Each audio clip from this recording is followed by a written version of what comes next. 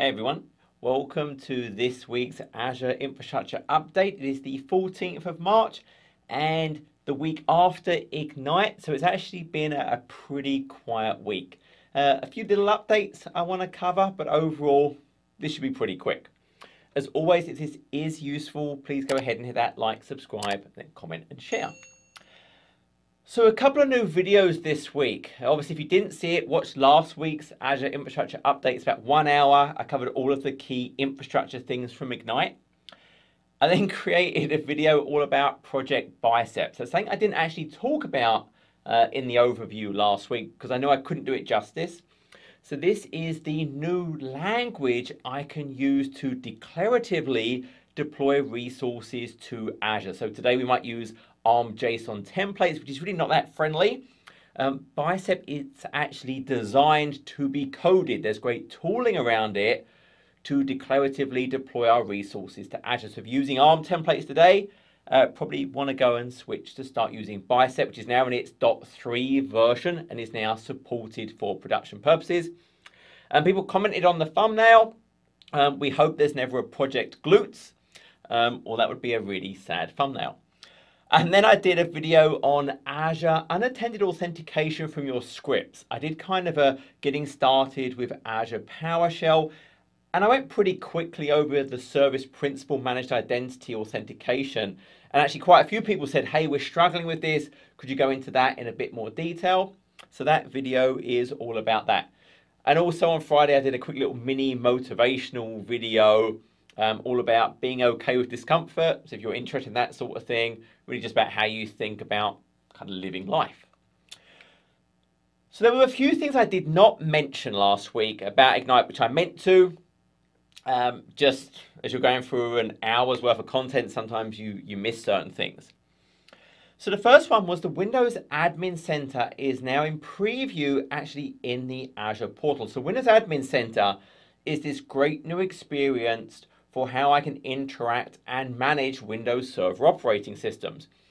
I can install this on my client machine. There's no agent required on the Windows servers and manage them just through kind of those remote protocols.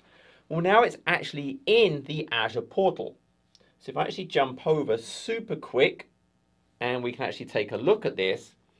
Now you do have to enable it on the virtual machine. So if I go over here and look at my virtual machines, means I've got my demo VM, and you'll actually see down under settings, we have this kind of Windows Admin Center.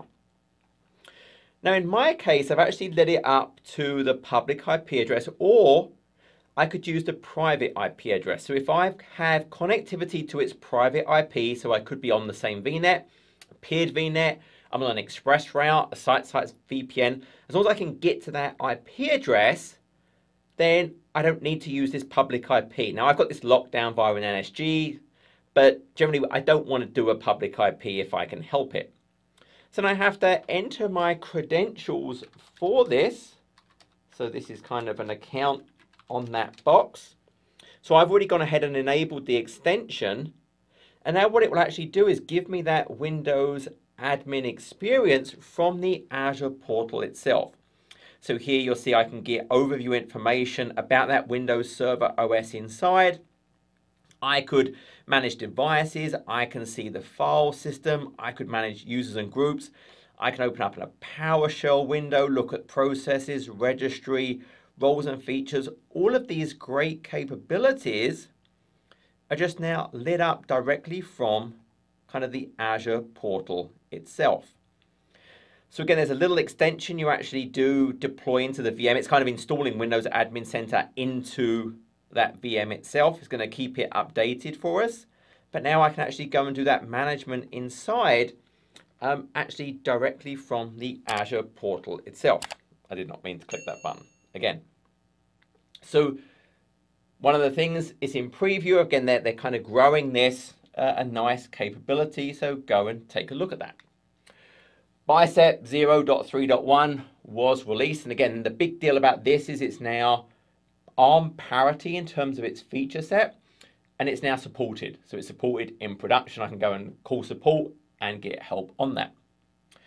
And then Azure Security Center now actually has some built-in workbooks. So actually, again, if I jump over and we just super quick go ahead and look at Security Center. And what we can see on Security Center, remember, is we have these kind of workbooks. And if I go to workbooks, you'll see there's kind of um, three there. So we have this secure score over time, system updates, and vulnerability assessment findings. So basically I can leverage these to actually go and get information about my environment through these workbooks and just use it to get that kind of better insight. I don't have much in this one, but you get the idea of what I can kind of do with these workbooks. So then other things that were actually new this week. So for Azure Functions, there's now a .NET 5 capability through a new isolated process model. So this actually creates a separate worker process outside the Azure Functions host runtime. So I can now get that .NET 5. Also Node.js uh, 14 is available. And now I can actually have Python durable functions. So if you remember the whole point about durable function is I can have this kind of long running stateful function. I have a workflow and then behind the scenes there's stay and checkpoints and restarts just done for me. This is very useful for maybe I have a whole series of functions I want to call in series or maybe it's a fan out and I have a whole bunch of them running parallel. Maybe there's some human user interaction. Whatever it is, there's some gap kind of in the primary function and things it does. So durable functions let me do that. So now I can use Python with that. Um, AKS, the resource live logs went GA. So once again, let's go and look at some of these. So if we jump back over and if we go and look at one of our AKS clusters, look at my CNI. So this is really all around things like pods, deployments, replica sets. So I'm going to go and look at my workloads. So I'm over here. And for my workloads, I can then go and let's say I look at pods, but realize I also have things like all well, the replica sets over here. Um, I have my deployments. If I go to a pod and I'll pick my bad father web one. And notice here I have this live logs option. So if I select live logs, I will then select the particular instance. So I'll select the actual pod. And what it's now doing is live streaming things like standard out, standard error logs, events, metrics. I get the direct access to the data. Uh, with kubectl, I normally do like a logs-c or get events or top pods. It's going to give me all of that same information now through this live logs capability. So that is now GA as well. On the networking side, they announced routing preference has gone GA. I talked about this last week and I talked about it before. This is all around public IPs and storage accounts.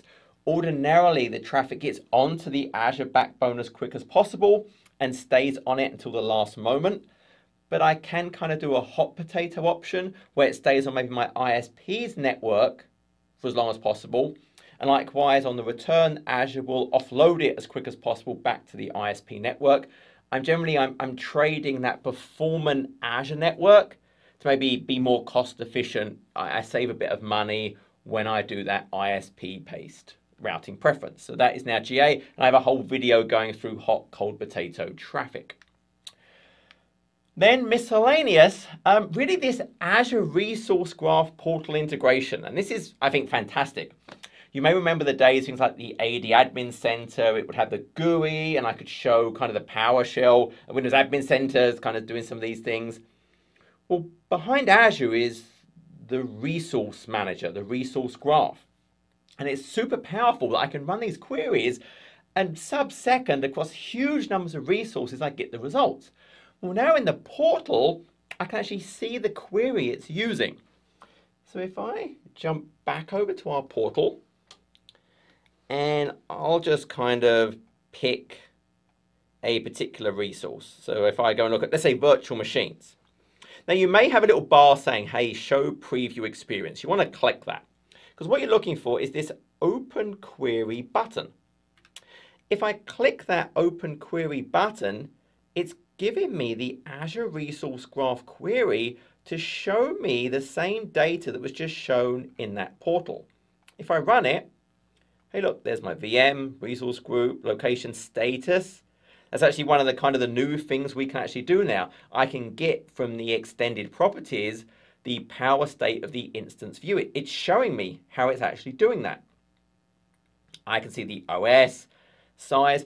So I can actually go and take this resource graph query and maybe it's giving me some cool information on how I can do certain things that I might use for my own queries. I could go and look at my storage accounts. I could maybe actually go and pick a particular storage account or just go and look at open the query again. Hey look, there's information about all my storage accounts. Look how quickly it returns. So this ability to now actually go and look at the query for kind of anything I am actually kind of looking at in the portal, so in the overview view, is super, super powerful to help me maybe create my own queries and just work out how I can get the information. So the resource graph, um, if you're not using it yet, go and take a look. I'm going to do a deep dive video on this in the next couple of weeks. Um, but this integration, I think, is phenomenal. It can really help us actually work out, well, what, what is the right query to go and get that information. Um, PowerShell 7.1.3 release, so go and get that if you're not already using it, just general enhancements. And the AZ Predictor Preview 2 is now out. Now that actually relies on the 7.2, not this, the, the preview version of 7.2, But this is all about the kind of suggestions for what I'm doing rather than just being based on IntelliSense and maybe just basic commands I've done before. These actually use things like machine learning to work out, well, based on the context of what I'm doing, um, what are the commands you're likely wanting to do. So there's now this whole new second preview version of this that really builds and improves on the old version. But again, I'd have to have the 7.2 preview version of PowerShell 7. Uh, and that's it. I told you it was a fairly quiet week, but a few nice little things. I love the kind of that resource graph portal integration and some of those live metrics. But as always, I hope that was useful. And until next week, take care.